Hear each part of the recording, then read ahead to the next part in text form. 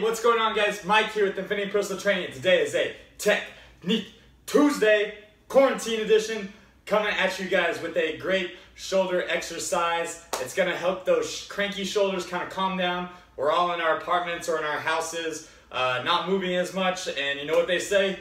Motion is lotion. So let's get those shoulders moving.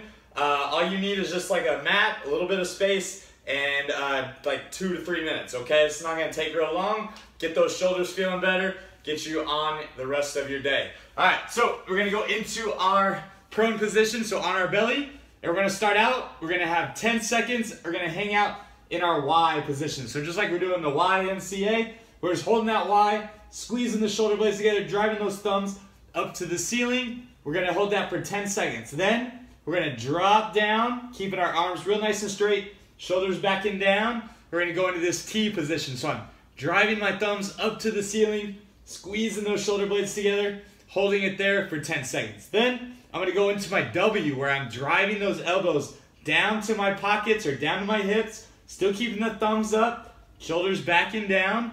Then from here, I'm gonna go into my surf. So like I'm popping up on a surfboard, I'm gonna bring those hands underneath my chest, shoulders back and down, and I'm gonna hold that for 10 seconds, okay?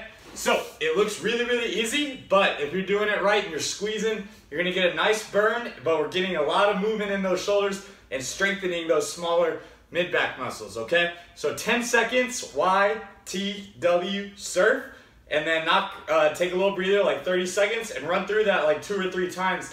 Those shoulders will be feeling really, really good. All right, guys, so everybody stay safe out there. Hope you're not going too crazy, staying inside of your apartment. You just got teed up on another Technique Tuesday. See you soon.